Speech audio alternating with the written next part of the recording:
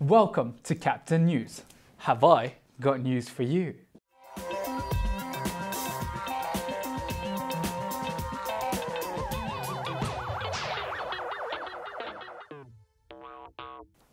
We have very good news for Crystal Clear and Kevin the Cave.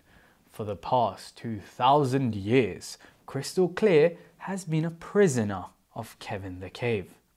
Kevin has kept her trapped inside the cave ever since Crystal Clear entered on her expedition. At first, Crystal was intrigued by the talking cave and they became friends. Crystal was given food and Kevin used to take really good care of Crystal.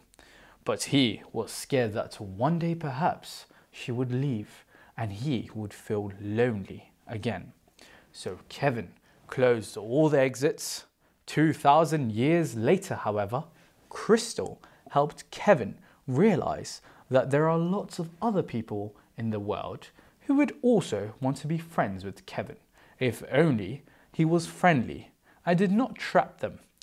As a result, Kevin is now open to the public and Crystal willingly visits Kevin once a week. She says that even Kevin seems more happy because he has got lots of new friends and is now getting a lot of visitors. The Daisy Dolls League are anything but dainty or even delicate. These dolls are amazing and an example to dolls all over the world that they too can be and can do anything that they want. For this reason, they set to work to build the most amazing dollhouse one has ever seen.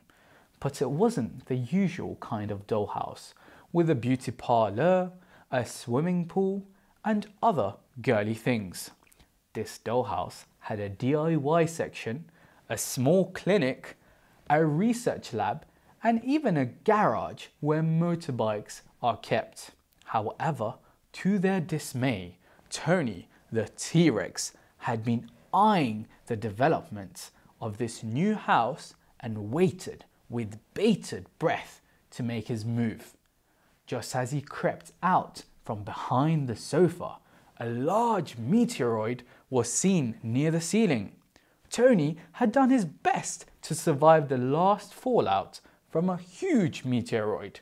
He couldn't believe it was about to happen again. Lo and behold, the meteoroid wasn't actually from space. It was just a tennis ball that had bounced into the living room. Except Tony didn't realize this, so he threw himself off Seti the sofa, who caught him just in time and munched him up. Meanwhile, the Daisy Doll's house is near completion. In a recent incident at the local council, a table and a chair refused to be seated together, even though they were made for each other. Local council leader Mike the microphone had this to say. it was terrible. Terry and Cherry would just not cooperate. They hated each other. And all because of a little misunderstanding about Tao the tablecloth, preferring to be put on the chair rather than the table. Oh dear, this made Terry the tablecloth very angry indeed, which is why he refused to have anything to do with Cherry the chair. Can you imagine a table getting jealous over a chair with a tablecloth on it? Though to be fair, I would probably feel a little left out. Thank you for joining us on Captain News. Over to you, Muhammad Ali, back in the studio.